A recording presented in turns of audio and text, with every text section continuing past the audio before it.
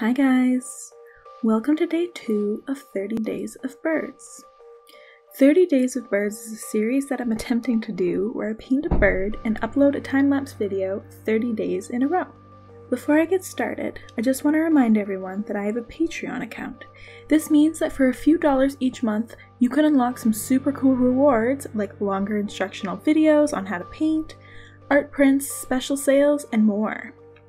Check out the link in the description of this video if you're interested.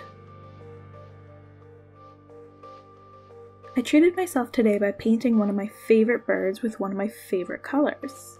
I felt like painting a Steller's jay, not in its usual sapphire tones, but purple.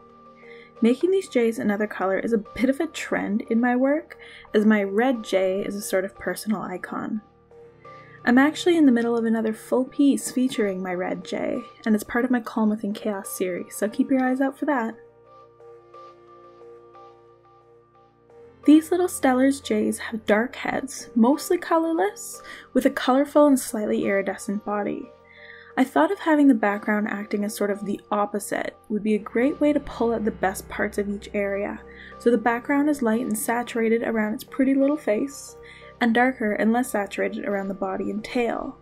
I tried my best to lay down those oils fairly thick in the brightest areas to really make them pop.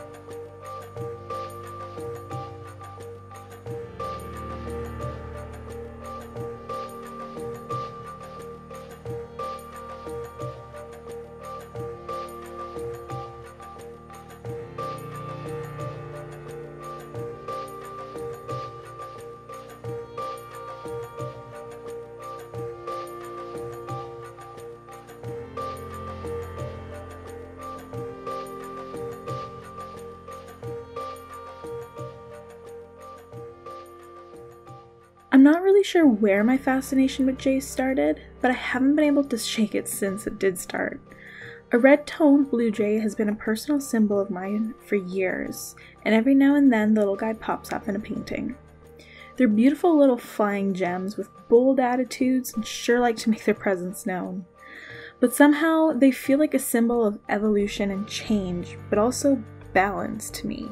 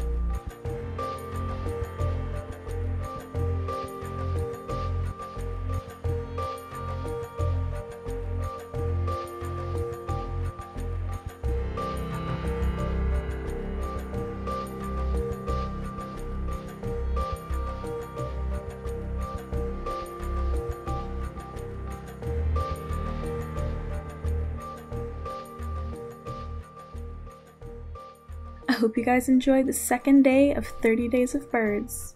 Let me know what you think, and I look forward to the rest of the series.